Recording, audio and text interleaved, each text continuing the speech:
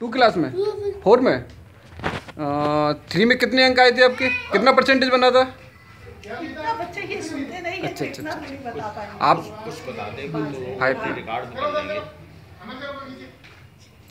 Six six okay five में?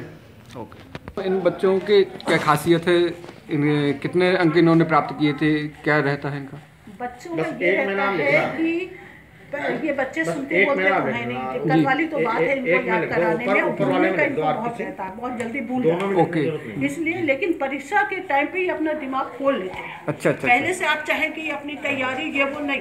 परीक्षा जैसे जैसे करीब आएगी फिर याद करना शुरू कर देते हैं हाँ वो सब जी परीक्षा आएगी तो? जब याद करना शुरू कर देते हैं। इनको टाइम टेबल लिखा दो फिर ये अपने जुट जाते हैं बच्चे तैयारी करते हैं और कोशिश करते हैं कि हम अच्छा से अच्छा करें। जी जी। और अच्छे नंबरों से